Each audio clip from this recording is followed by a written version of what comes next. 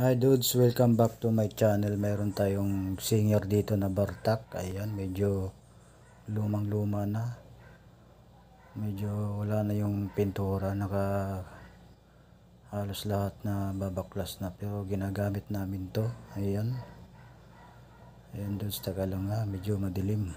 Ayan po. May ilaw na. Ito yung ginagamit namin dito sa tahian. Ayan.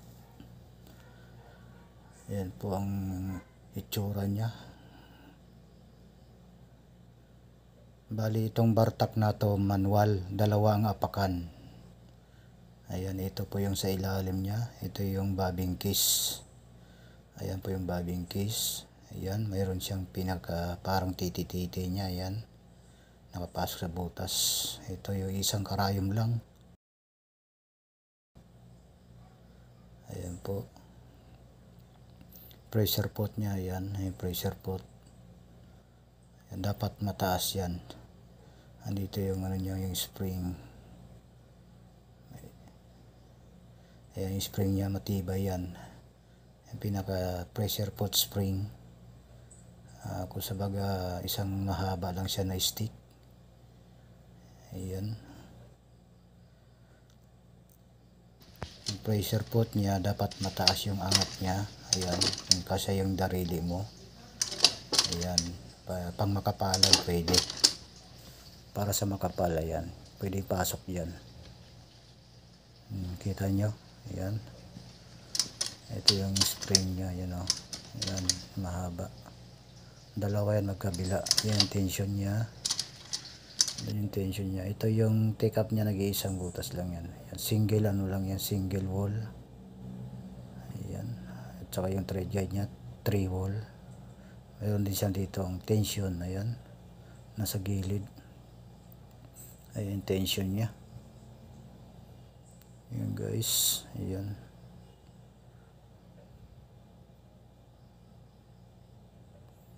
Ayan po dito sa kabila sa gilid. Ito yung ano pala yung emergency stop nya ayun yung emergency stop niya para mag-release ka agad. Halimbawa naputol yung karayom pipinditin lang siya pag ganun. Yan oh. pag pinindot niya nagre-release ka agad yung takpo sa belt. Ito po yung model niya. Ito yung adjustment niya. Pang palapad ditong sa taas ito yung pang pahaba. Yan pahaba maiksi. Yan pipihitin nyo lang yan. Papasok sa pahila. Yung, ayan yung movement ayan o oh. kita yung movement nya ayan po. Pahaba ng tahi o kaya paiksi. Ito naman yung lapad. Lapad at liit yung bite nya ayan po. Dito naman yung sa likod nya ayan po yung apakan nya may kaya na dalawa. Ito yung sa pag patakbuhin mo na. Dito mga apakan ito yung sa pressure pot. Ayan po yung pressure pot. Ayan. Pag inangat mo yan ayun maangat siya. Pag inapakan mo. No? Medyo luma siya. Ito yung ano niya tumutulak para hindi para umikot siya. Ito yung bakal ayan po.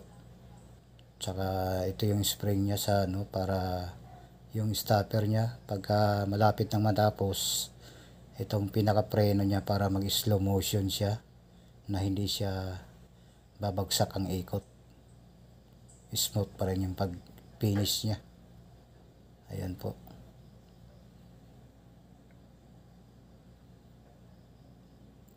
Lagyan natin ng ilaw ha para kitang kita ayan po. Ayan. Kinakalawang na siya ano? pero yan po yung ginagamit namin. Ito ngayon ito yung bobbing case nya tanggalin natin ha ayan. Yung bobbing case nya mayroon siyang butas sa dulo. Ayan papasok mo yun sa dyan. Ayan po yan ipopokus natin yan ito yung bobbin winder ayan ayun yung butas niya yan sa dulo kailangan nakapasok yung sinulid dyan Ayan po. Ayan.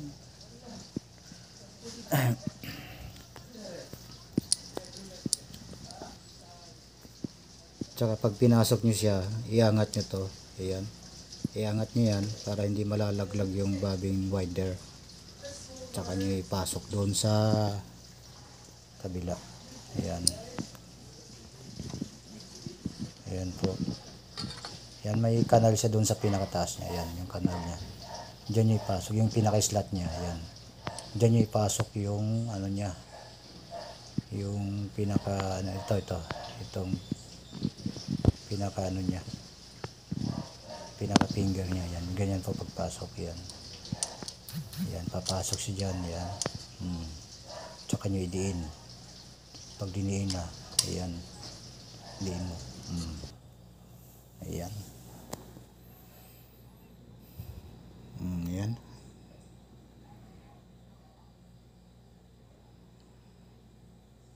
And singer. Ito yung makinang makanta.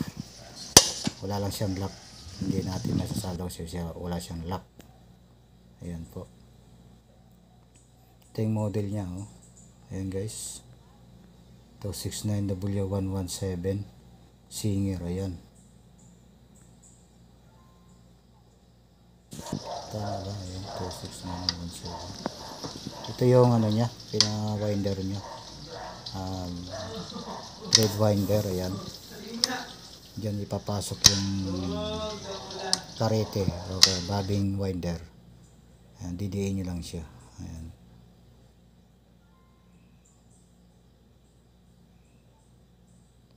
Ayan guys.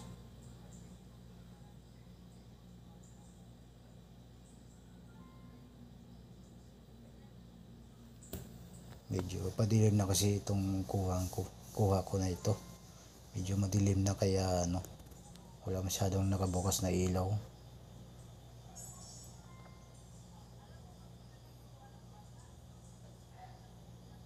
Dito yung sa ilalim niya. Yan yung motor niya. Yung motor niya brand niya singer din yan. Old model. Ayan nag-iisang belt lang ayan belt niya. Ito yung apakan niya. Ito yung kadena. Ayan, ito yung pampaandar. Tsaka yung pressure pot. Ayan, pampaandar tsaka pressure pot. Ayan, ito yung aparan, pressure pot. Ayan. Ayan, napaka dyan.